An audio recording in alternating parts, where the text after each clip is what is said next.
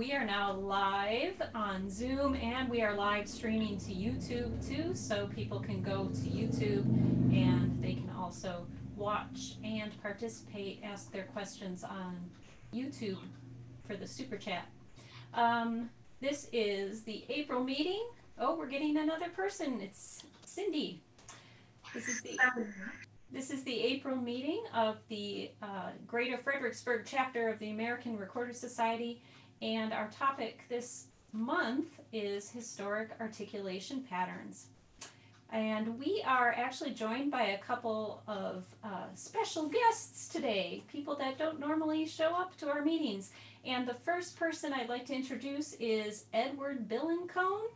He is my Alexander teacher. So, for those of you who came to our meeting, our actual last in-person meeting on the 1st of March, we talked about basic the basic Alexander techniques. So we did a little inhibiting, we did a little directing, we did a little bit of observation, and then we played our recorders and observed what crazy things we did while we were playing with the recorder. And my teacher is here today, and he would like to take a minute to talk about um, his online classes. So he is offering some online classes in the Alexander technique and I'm going to screen share and let Ed talk. Can we do that? I'm up. He's up. You're Can hot. you all hear me? Yes, I can hear you. Okay. Uh, just briefly, okay, let's see. Ah, thanks, Kelly. You're welcome. As I said to my students when I when faced with teaching um, from a distance, I was certainly um, befuddled, but realized that this medium has potential. And so I've uh, begun to compile one hour sessions that people can attend. The first one being the, the introduction to Alexander's principles. As you can see, awareness, inhibition, and direction are the three main principles, and we talk about what those words mean because when I first started this work 35 years ago, I had no idea what those words really meant. So we do a deeper dive into those. Uh, next up is the, the movements of the head and the neck. And de- depending on, on what body uh, training you've done, whether it's yoga or Pilates or uh, Feldenkrais or um, Rolfing and, and whatever, people have different ideas about how things uh, organize, either from the top down or from the bottom up. Um, but I would contend that the um, you know the nervous system and the head area is the chief navigation system for how we manage ourselves in space, and that affects our breathing, articulation, uh, and so on. Next is um, one of my favorite little ditties because I was also a professional dancer long ago is Happy Feet. And as we age, sometimes our feet get uh, in trouble. and this is a wonderful study about linking the head to the feet, learning to walk better, stand better, run better, or whatever.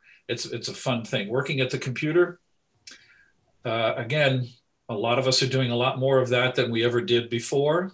And what does that do to our bodies, and how do we manage that the best way possible? And again, um, as recorder players, I, I'm sure that you all do a fair amount of sitting as well as standing. Um, so there's that. Uh, constructive rest, another one of these topics that unless you experience it, until you've experienced it, constructive rest is not the same as plain old taking a nap. And to find out what that means and how you can use it and how profound uh, an effect it's had on many musicians over the years is, um, is, is really worth doing. Um, again, some people have issues with um, again, the head neck coordination and the whole body coordination. But, but since we're also doing a lot of reading these days, how do we manage to take care of ourselves when we're reading, when we're working at the computer? So those are just some of the ones that I have coming up. And as you can see there, uh, Kelly has highlighted the um, my email and the um, so that that way you can get in touch with me if you're interested. It's um, Bill and Schoen Bear at Comcast.net. So I I don't know how this, how much this is going to be available to your folks, Kelly. Okay. Actually, I'm already excited about the use of the eyes while reading, changing from reading, you know, solid print music most of the time to reading music on the screen has me extremely excited. Um, and working at the computer, I can see everybody who's had to move from um, a more traditional format to a computer format needing that work. And our members got a little bit of an introduction to the Alexander technique, but everyone, everyone would benefit from a further examination. So, um, Mr. Ed can upload his little flyer here into the chat so you can all download that if you'd like. And now we're going to continue with our main event. So, I, I just want to uh, I want to say one last thing, Kelly, which is yes, thank absolutely. you for inviting me. Absolutely. And, and thank you all for listening. We're glad to have you. And we're going to be talking a lot about things that go on in the head and neck today. We are going to be talking about historic articulations for the recorder. Um, we've got our information here. We are the Greater Fredericksburg chapter of the American Recorder Society. We are a chapter, we're not a recorder consort. So for most of what we do every month, we meet and we usually have some sort of program and then we play a little bit afterwards. We're still working on the how do we play a little bit afterwards, but we're going to continue with our programs. I'm our chapter rep. I'm Kelly Kasich. Our tech officer is Jarrett Rodriguez. So if you've got questions as we go on, um, put them in the chat and Jarrett will alert me to questions and all that kind of stuff. We've got our email here, fredericksburgrecorders at gmail.com. We have a website that anyone can access. You can see the website there. We have a Facebook group that anyone can join. Instagram, we are at Fred Recorder, and our YouTube channel, which we've now got up and running. So we're going to talk today about historic articulations, and we're taking a forest and trees approach. So if there's anything you remember from today's talk, remember this forest, that all articulation in music, no matter what instrument it happens on, is an attempt to imitate speech. And if you think about the differences between someone reciting a poem or those robocalls that you get on your phone, you have some idea about what we're trying to achieve. When somebody is reciting a poem, you hear, or just speaking in general, you hear the lilt and the ups and downs of their speech. And when you get that robocall, that's a threatens that if you do not buy insurance, the CIA will hunt you down. You know, we've all gotten those robocalls.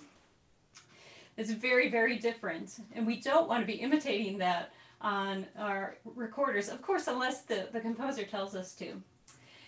Historic articulations and even modern articulations are trying to create a difference between strong and weak syllables. So, again, that poetry and that matching and imitating speech.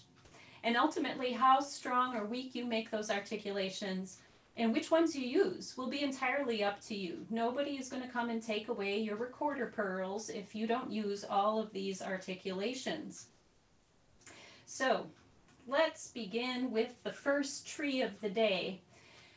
These are the trees that many of us know. Here in the Fredericksburg chapter, we've got 80% of our membership is wind players, so woodwinds and brass wind, and we all have a framework in how we articulate on our modern instruments. So for people who aren't wind and brass players, We'll start with our modern wind playing. Modern wind playing concerns itself with articulation, and because of the high air pressure needed to play a modern wind instrument, we usually concern ourselves with the following vowels in order to articulate a note. And we've got this little picture over here of the inside of the mouth, the roof of the mouth. So this is the top view. We've got the teeth, the top teeth. We've got that alveolar ridge, the hard palate, the soft palate, and the uvula. So the articulations that we tend to use as modern wind players are the T, the tu or the ta, we say tu or ta, and we strike that alveolar ridge, which is the skin behind the teeth before that sharp dip. And this can create a heart attack with a sustained tone. If we want something softer, we use the D, which is also using the tip of the tongue to strike the alveolar ridge but is a softer consonant and creates a moderate attack with a sustained tone. Now, not all wind players are going to use these next two, but flutists and brass players definitely do. This is the K syllable, which we use in modern tonguing. We use it in conjunction with the T syllable. Um, the K syllable is made slightly further back in the mouth, closer to that hard palate, somewhere in there, and made with the center of the tongue. So we've got um, double tonguing is the alternating of the syllable used at the alveolar ridge with what happens further back in the oral cavity. And if you've ever used the words tiki as in tiki torch or taco as in yum, you have double tongued. So if you never thought you ever double tongued before, if you've said those words, you've actually double tongued. And I, I've seen a couple um, uh, tonguing challenges on the American Recorder Society Facebook this past week saying, oh, learn your double tonguing. Okay. And modern instrumentalists tend to use the G, the hard G syllable, gu or ga. And we tend to alternate this with the D syllable. And this is also um, a syllable that's made with more of the center of the tongue hitting the hard palate for medium attack. So if, if you've ever called your puppy a doggo or discussed the paintings of Degas, you have also double tongued. So now we come to our first exercise. We're going to try some of these syllables. And what we're going to do is we're going to do our best not to chew and we're going to do our best not to vocalize. I get that a lot from my young students. I'll say, say two into your flute and they'll go two, two. We're going to try not to do that. And you're going to make kind of a recorder embouchure, which is close to nothing. And you're going to place your hand in front of your mouth and try each syllable. So I'm going to do that. So I'm saying two right now. And now I'm going to try D and I'm going to try some K's. And I'm going to try a G. And what you're looking for is does the air feel different coming out of your mouth when you use each one of these syllables? Does it come out at a different speed? Does it come out at a slightly different angle? What do you notice? And if you're not noticing anything or noticing any change, there may be some reasons for that. So we have our first troubleshooting session here. If you don't notice any difference between your T's and your D's, you may just have an accent that doesn't make a big difference between T's and D's. So you may on a regular basis speak with a fairly soft D, uh, soft T or a hard D. Two, you may not be blowing out properly as you make these articulations. A lot of times when people are trying articulations for the first time, they, they kind of stop the air. They make the articulation with the tongue, but they don't let the air out of their mouth. And uh, flute playing is hard work. No matter what the flute is, if it's the recorder, if it's the transverse flute, it's hard work. You have to make sure you blow out. The third problem that I encounter is anchoring the tongue. So this one's kind of important because going on, we're going to, to need a nice flexible tongue to do some of the historic tonguings. Under normal conditions, the tongue sits at the roof of the mouth. So the teeth in the back slightly touch and the tongue sits on the roof of the mouth. In some people, for whatever reason, they have their tongue kind of sitting on the bottom of their mouth um, we call that mouth breathing. They probably do a lot of mouth breathing. and the tip of the tongue anchors to the bottom teeth. And at that point, they try to use the middle of the tongue to hit the alveolar ridge. It's not that you can't get out any articulations with an anchored tongue, but um, in general, if you can get the tongue to the roof of your mouth, you usually have better outcomes. So I won't say it's always better outcomes, but more um, more likely to have a better outcome if you can get your tongue to sit at the roof of your mouth. And the fourth problem that I see an awful lot if you aren't getting any differentiation between your tonguing is that your tongue is tight. So when I ask my students how big their tongue is, they're like, ah, it's this big. And the thing is, your tongue is actually really large and really disgusting, and it hooks in down here at the hyoid bone. And we don't think about the part of the tongue that's hooking down here at the hyoid bone, and it tends to be very, very tight. So I've got a little stretch for you. This stretch goes like this. You look up toward the ceiling and you swallow. And then you look up into the left and you swallow. And then you look up into the right and you swallow. And if you have trouble swallowing, you're tight. Your tongue is tight. It's not going to move as freely. So I do that one with my students quite often, and they seem to have good results with that. So those are the articulations that we modern players tend to um, tend to encounter quite a lot. Are there any questions so far? Everyone's doing okay? All right.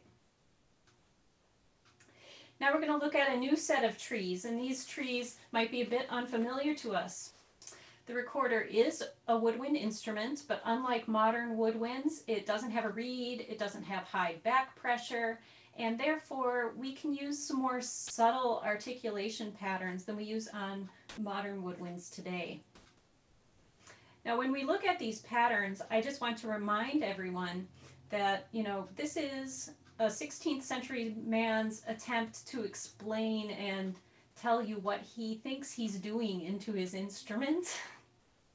he's attempting to say, well, I make these hard syllables, I make these soft syllables, and this this is how I think I do it. So if there are some of these syllables you can't make, don't worry about it.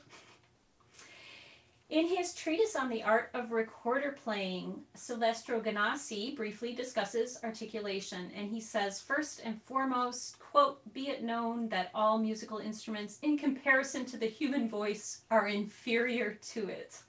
I don't like that. I don't like being inferior to the voice. For this reason, we should endeavor to learn from it and to imitate it. And he says that there are three basic kinds of articulations. Uh, teki, or teka, tera, and lyra. And he's got a little chart here. So this chart comes from his treatise, and I've got the uh, I've got a, um, the bibliography down here, and the English translation is now on IMSLP. So if you don't have a copy, head on over to IMSLP and you can get that English translation. And if we look in his his chart here, he has oops. There it is. He has articulations that are very, very similar to today. Tiki, taka, daka, tiki duku. Tiri, that's a little different from today. Dara. This one's interesting, Kara, using a K to begin. And then the syllables on L, he's got those over here. So you can see what he considers the basic articulations. After Ganassi talks about all of these consonants, he recommends trying all of his combinations with all of the vowels. So a, E, I, O, and U. And we have to remember that he's talking about 16th century Italian consonants and vowels, and I could not imitate them if I wanted to. So I'm going to try to figure out what, what these vowels are and consonants are doing. So let's look at the consonants that Ganassi described. He described the T, which I'm going to assume is not unlike our modern T, that it's happening at the alveolar ridge. And the D also seems very similar to what we do today. The K is a syllable that I just said many modern woodwind players are still using, so that's not too different from today. That is the mid tongue hitting the hard palate. The R is usually not familiar to the modern player. And the R can be a very difficult sound for some people. In general, we're aiming for a very soft R, as in the word rue, almost like you're you're speaking well, you're speaking French. A roux is French, and almost like you're about to roll your R just a little bit, but not quite. Roux instead of a hard R like pirates or rock and roll or R of mateys. So we're looking for something really soft that can still let the air out of our mouth. The L is also un, somewhat unfamiliar to modern players. And the L is actually a very difficult sound in the English language. Um, it's one of, with the R, it is, what is it called? A lateral palative something or other. Um, in phonetics, it has a very specific name. And what happens is that the tongue comes up to the roof of the mouth and spreads out. So when it does this, the air that's coming out of your mouth shoots out the sides instead of out the center of the mouth. So I'm assuming that 16th century Italian didn't do that. And so I'm uh, also assuming that we're looking for a very, very soft L, like in the famous yoga pants, Lululemon, rather than the word pickle. So if you do an L, pickle, and blow out, you might find that more air is coming out the side of your mouth than coming out the center of your mouth and that might require a substitution. So if you're having a hard time getting air out the center of your mouth with an L, you might um, need a substitution, and we'll address that in a little bit. So what's with all of Ganassi's different vowels? He wanted you to, not only take these consonants, but he wanted you to um, do different vowels as well. And here I've got these lovely pictures. Let me make sure that you can see that I've cited my source. I take it from uh, Jane Ruby's, Jane Ruby Heirich's Alexander Technique for the voice and the Alexander Technique. They are fantastic pictures. And um, at the end, when we've turned off the recording, I will give you all a bi bibliography with links so you can order these books if you're interested. But this is showing what the tongue is doing in the oral cavity as you are saying these vowels with these consonants. So as you can see, there's a whole group of, of vowels over here that are really high. They cause the tongue to come up very, very high. He, hit, hey, head, hat, and yeah. Has the front of the tongue up very, very high. And so they're going to give your sound a, a brighter sound theoretically. And then we've got a series of vowels that bring the front of the tongue down and then play with the back of, of the tongue in the oral cavity. The lowest vowel is the ah sound as in father. So that's that's what your tongue is doing when you're saying these vowels. And then we've got the schwa. the schwa is pretty neutral apparently. Here's our schwa. All right, so now we have an exercise. Like the first exercise, we're going to make a recorder embouchure and we're going to bring our hand in front of our mouth. We're going to select a consonant and a vowel and we're going to try that consonant with that vowel and then we're going to change the vowel and we're going to see what happens to our air. We're going to see what happens um, to the angle of the air. So I'm going to take uh, T's, and I'm going to play with the vowels that I can do on T.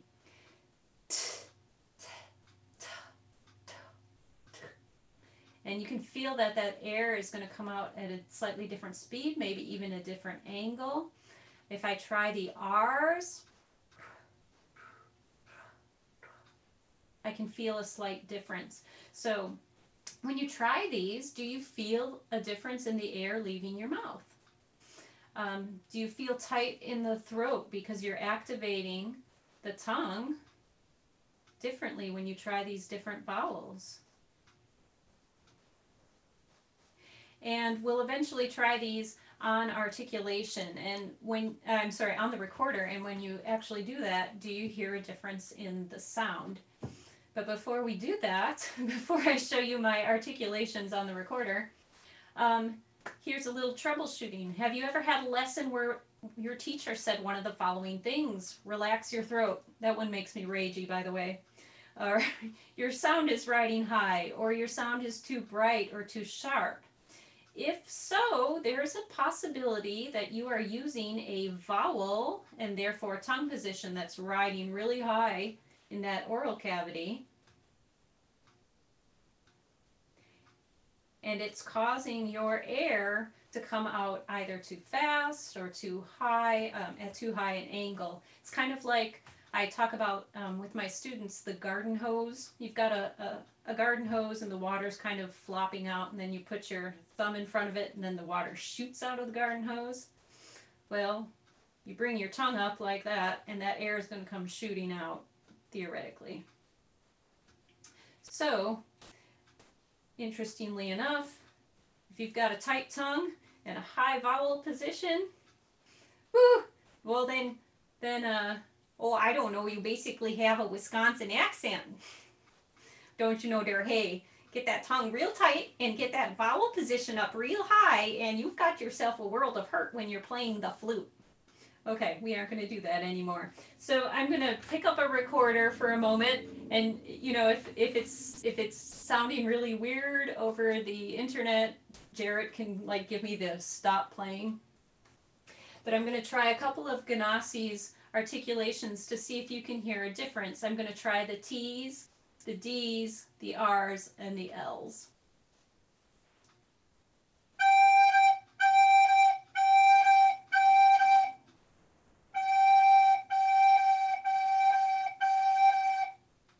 So I did ta-ra, ta-ra, and then I said da-la, da-la. And some of them were stronger and some of them were weaker as I was sitting in this room. I don't know if you heard any differences where you were sitting, but since we're all muted, if you want to pick up your recorders and you want to try some of these yourself, I suggest giving them a try. So you'll also notice that Ganassi paired his articulations. Tiki, taka, daka, tara, uh, dara, kara. Um, so you might try that too. So give it a try. Um,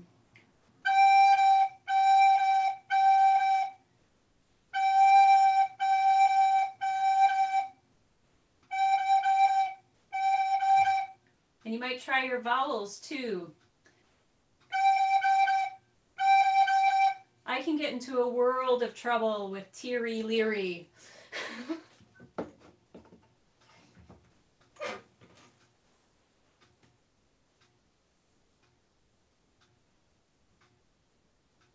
How's everyone doing? Did you notice any differences? Everybody good? Any questions?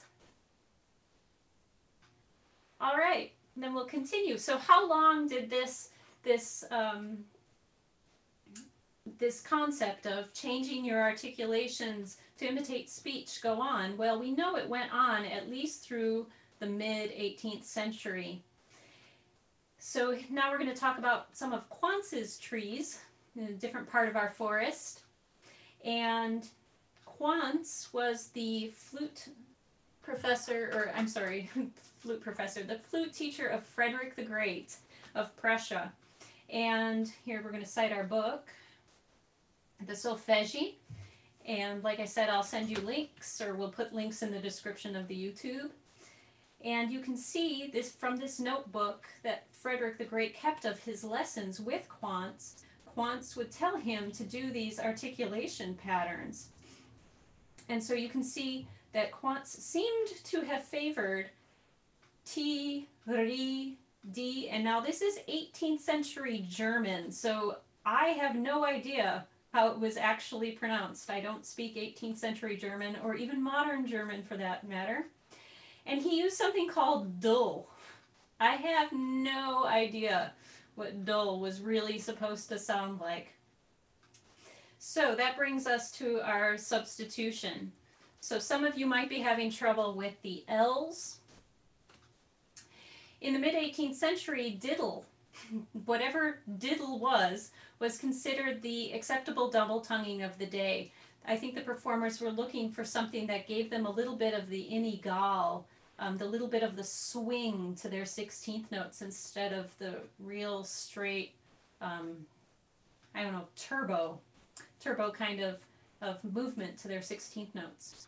Because you'll notice that Ganassi back in the 16th century had no problem with tiki or taka, which is very similar to today's double tonguing.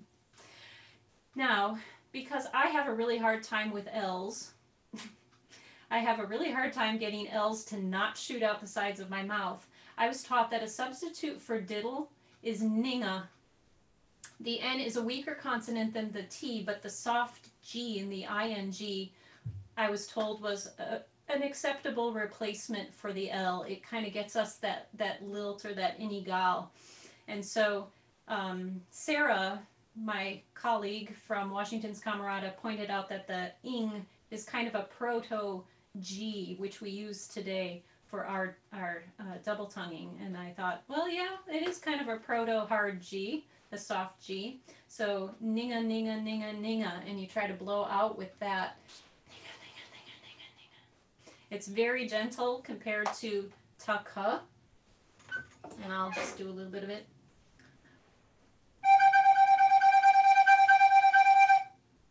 So it's pretty fast and it's much more gentle. So now we're going to put our trees back in the forest unless somebody has any questions so far. We're doing okay? All right, so how do we apply this to our music? Well, first we need to know something about the pieces that we're playing. What century do they come from? Because if they're coming from the 18th century, we probably aren't going to want to use so many Ks. But if they're coming from the 16th century, go ahead and use those Ks. And I've compiled a, a, table of musical gestures and possible articulation combinations to achieve a desired effect. And this is not an exhaustive list. You can come up with your own combinations. So here we go. If you were to see or want to create this shape of tongue one, slur three in historic tonguings, Instead of using slurs, why not give the following articulations a try? So instead of playing ta ta, you could play ta ta da to create a similar effect and a similar sort of shape. So I got my little recorder here. That's with the slur. And that's with my tongue. I don't know how much of this is coming across on the on the computer, but uh, I hope some of it is. If you were to see the following shape in your modern music or want to create this shape of slur 3 tongue 1, you could try the following articulation patterns. Strong, less strong, weak, strong. Or you can get something very similar. This next one is my favorite. If you want to create this shape of slur two, slur two without actually slur two, slur twoing, you could use tara tara. That one's my favorite. Going on with musical gestures. If you wanted to create the shape of tongue one, slur two, tongue one, also a personal favorite, you could try the following articulations two strong ones, a weak one, and a strong one. I like that one. If you wanted to create a more gentle shape like you would get from a slur 4, you could try using a um, moderate articulation followed by a weak articulation. Very nice. And then I just went ahead and continued with some of the articulations, slur to, tongue to, tongue to, slur to, and then all tongue. Um, so you could look for places where if you wanted to create that kind of shape, that kind of sound, you could put those articulations together. And what you'll find as you put these articulations together, the strong and the weak, is that if you're following the strong and the weak of the music you're actually playing, chances are you won't go wrong. Um, if you try to fight the strong and the weak that's happening in the music, then you might have problems. So um, we have for our, is, are people still trying these? Do you want me to, to move on? Are we good? Okay. I don't know where Jarrett went. we have uh, an example piece to try today, and I've gone ahead and I've written in some articulations. And, uh, you know, are they the only ones that could be chosen? No, they're not the only ones that could be chosen. You could substitute, you could decide, oh, I don't want all these strong tongues. I'd like some more weaker tongues. I'd like to use more L's. You know, I have a problem with L's. So we're just going to be dealing there. And this is the little duet. I tried to uh, record it in um, a cappella with myself this week. And there were some syncing issues, but we tried. So if we're looking at that first soprano line, we have that shape that's, we've got, hmm, where's my highlighter? We've got a shape where we could do strong and weak and we can alternate. Ta ra ta ra ta da ta ta ra ta da ta da. That's a possibility. We could give that a try. And you see those shapes happening throughout the piece. So it, you, also when you're trying to put these these tonguings together and you're trying to do them over pieces, you'll find that pieces have very repetitive rhythmic structures. They have repetitive sorts of melodic figures, and you don't need to come up with crazy combinations all the time. You can just keep repeating the patterns that worked for the previous phrase. So I am going to, I think I have to make this smaller. No, I don't know if I can make it smaller. I did email this out to people just to uh, cite my sources. Let me go back and cite my sources here. Um, this little piece is coming from the Renaissance Recorder Anthology. Um, 30, oh, I'm sorry, no, it's coming from uh, Renaissance Time, Pieces and Dances. And then we'll look at a piece that's coming from the anthology. So Again, that'll be in our description. So, anybody who wants to play along with me, here we go. One, two, three, four.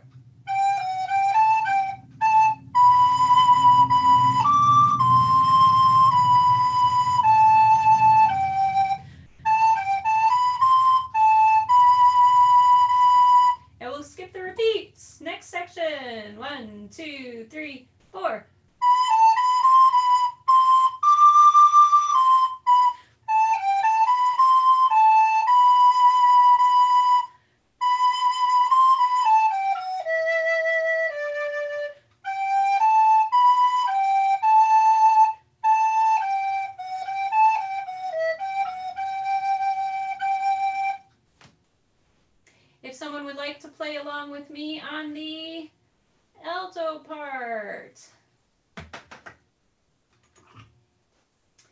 Um, the second soprano and alto part. We'll give that a try. We're just going to skip the repeats for now. So here we go. One, two, three, four.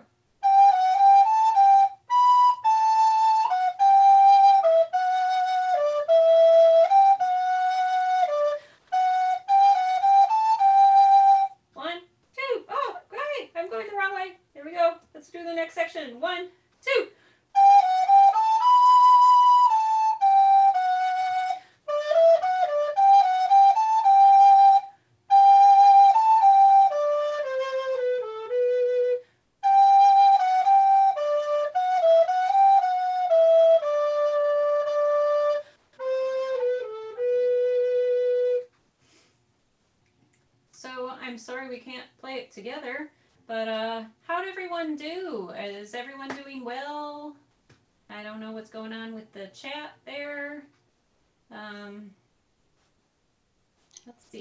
There's nothing happening in the chat right now. Nobody's chatting. All right. No.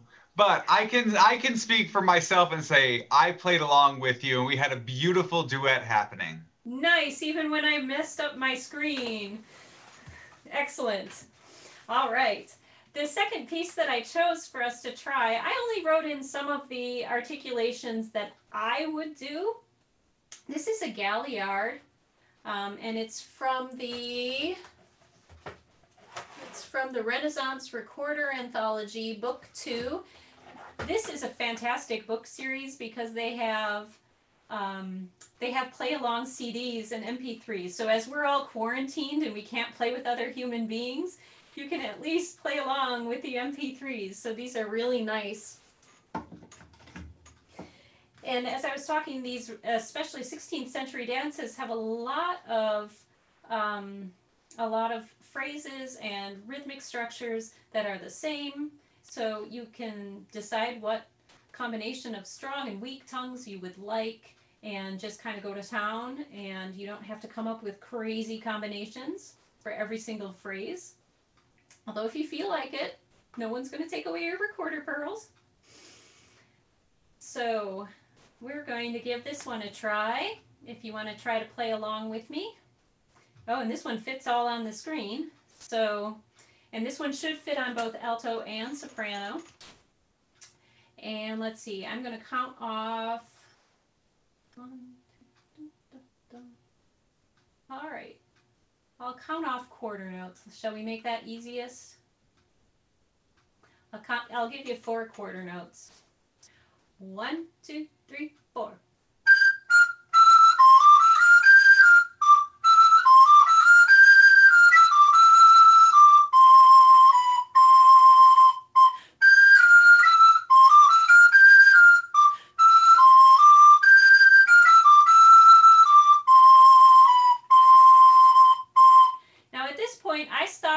Writing in any articulations. So did all of you keep going with these articulations? Did you give them a try? You do okay? Yeah, I, I gave them a try. Um, and because it's kind of the same thing, I just continued with the the ta ra ta ra ta ra da. Yeah, you can. R You is very hard for me. I mean, it's going to take time, of course, to get used to putting all that together, but it's not impossible. Um, so we're going to start from the beginning one more time, and this time we'll go all the way through, and I promise I won't stop. I just want to make sure no one had any questions. So here we are from the beginning. I'll give you four beats. One, two, three, four.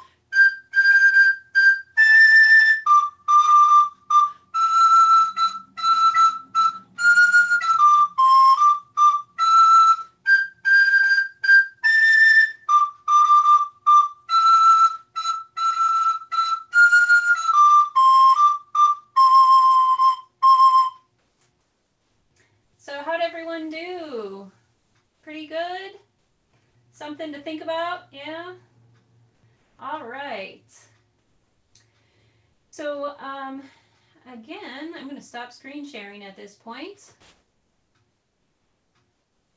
I had trouble, very tight. Oh, Jared had a tight tongue at one point. Yep. Interesting little thing, huh? Doing the the stretches and the swallowing, like that was very restrictive. Yeah, interesting. All right, so I think that we should probably um, end our recording, take our questions, exchange any more information that needs to be exchanged. If anybody wants to talk with Ed for a second, then we can do that. Um, we will be having another meeting the first Sunday in May. Now, this was supposed to be our end of the program year party. So, whatever we decide for our topic, we will be doing it with a glass of wine. So, yeah, Bill will Bill will have his prosecco with him, and uh, you know we'll have our glass of wine, and then we'll figure out what our topic for May will be. And so, um, before we end our recording, anything else? All right.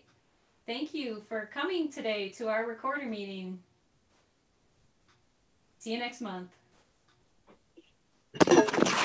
All right, we're unmuted. Anybody? That was a lot to, to digest. It's a lot. I'm going to put the um, the handout and the bibliography and all that stuff in the in the chat right now. So I'm gonna take care of all that administrative stuff.